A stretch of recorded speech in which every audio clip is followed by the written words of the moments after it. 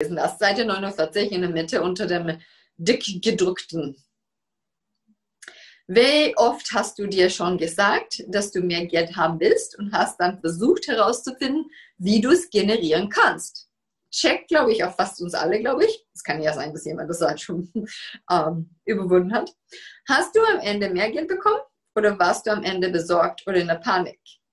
Bitte kenne an, dass ich will mehr Geld haben und ich muss es haben, keine Fragen sind.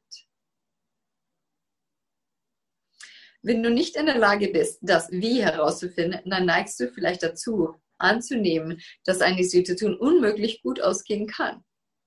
Oder wenn du zwar etwas Geld auftreiben könntest, aber nicht den Betrag, den du benötigst, dann wirst du es vielleicht enttäuscht, disillusioniert und verärgert sein. Oder was immer man will zu sein. Ne?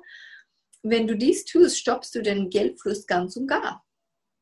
Aber dann kannst du wieder anfangen, wenn du Fragen stellst. Und das ist das Geile. Und dann hüpfe ich einfach ein bisschen runter zum nächsten Abstand. Es gibt unendlich Möglichkeiten und Wege, auf denen sich die Dinge aktualisieren können. Handeln ist nur ein Mittel zum Zweck. Handeln ist nur ein Mittel zum Zweck.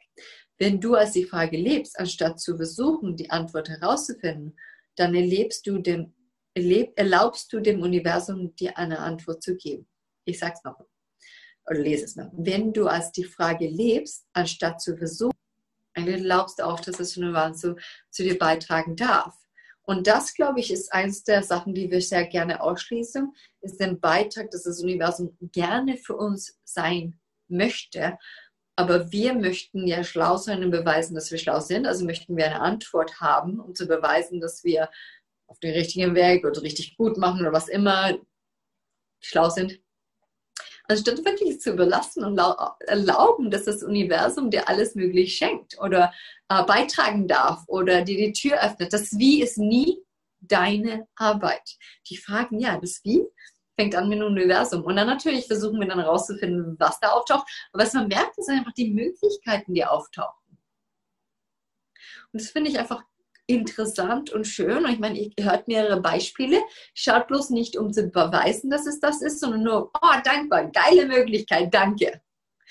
Wie wird es noch besser? Also das kann ich nur wirklich empfehlen, das laut zu sagen, wenn du mit Menschen bist. Ich überrasche also ich werde ständig überrascht, wie geil diese Frage funktioniert. Auch wenn ich tausendmal durch diese elf Jahre gehört habe, wie sie mehr Möglichkeiten kreieren, wenn du irgendwas sagst oder beim Verhandeln oder bis beim Kaufen wird es noch besser.